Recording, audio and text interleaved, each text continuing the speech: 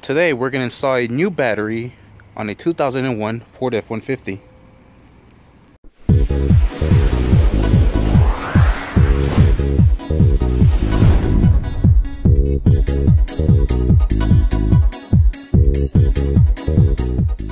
Alright, the first thing you want to do is pick up the battery.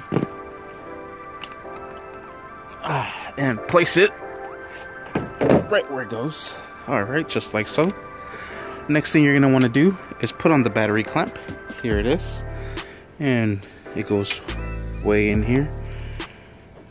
There it is. Okay.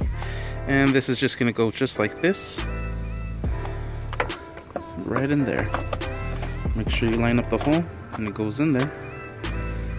Alright. Now you can just drive it in. Alright, the next thing you're to want to do is remove these caps here. Next, we're going to plug in our positive terminal.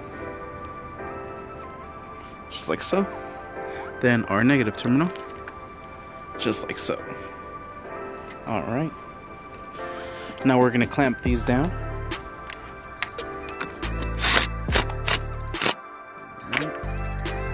Negative side. And the battery.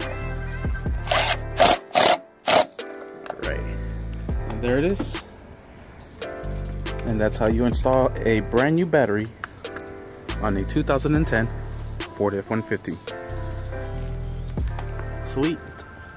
Thank you for watching. Please like and subscribe.